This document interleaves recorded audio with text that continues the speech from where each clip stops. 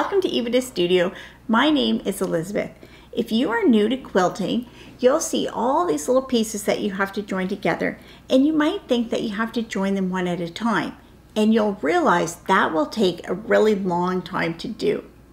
It would take a long time, but with a little trick called chain piecing, you can join these more efficiently and save not only time, but thread.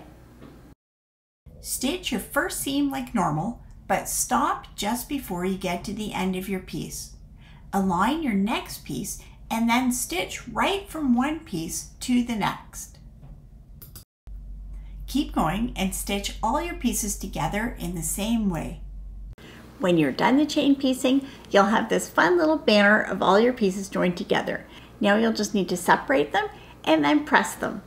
For more quick tips about quilting, pojagi, and embroidery, check out epidastudio.com or follow me on social of your choice.